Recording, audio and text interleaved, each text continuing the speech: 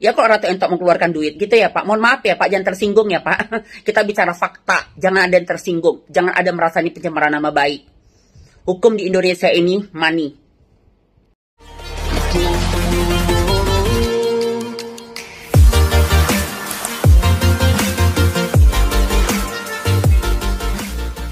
Saya Ratu Entok sebenarnya sangat menjunjung tinggi Polda Sumut di Sumatera Utara ini.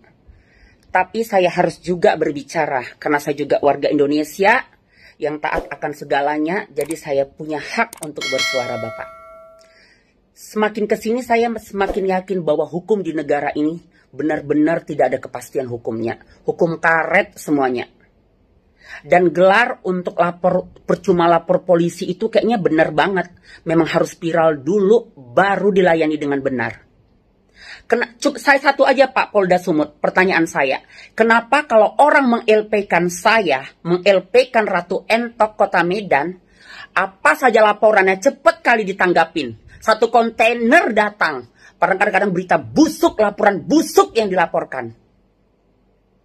Tapi giliran saya meng-LP orang, kenapa seperti jalan di tempat dan bertele-tele? Kenapa Pak? Ada apa? Hah? Kenapa Pak? Karena yang terlapor berduit ya Pak, bakalan cair ya, gitu ya Pak ya. Tapi kalau saya meng-LP orang, apalagi orang ini yang orang miskin gitu Pak, kayak agak-agak ribet, agak males ya Pak ya. Ya kok Ratu Entok mengeluarkan duit gitu ya Pak. Mohon maaf ya Pak, jangan tersinggung ya Pak. Kita bicara fakta, jangan ada yang tersinggung. Jangan ada merasa ini pencemaran nama baik. Hukum di Indonesia ini money.